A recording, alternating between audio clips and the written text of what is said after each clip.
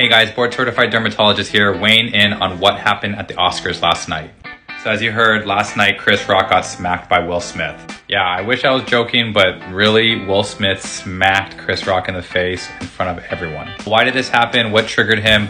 Well, Chris Rock had to comment on Jada Pinkett Smith's lack of hair, her baldness, and had to say she could be in the next G.I. Jane sequel which is highly insensitive. In 2018, Jada had opened up about her losing hair. She shared how terrifying it was to go in the shower and see handfuls of your hair.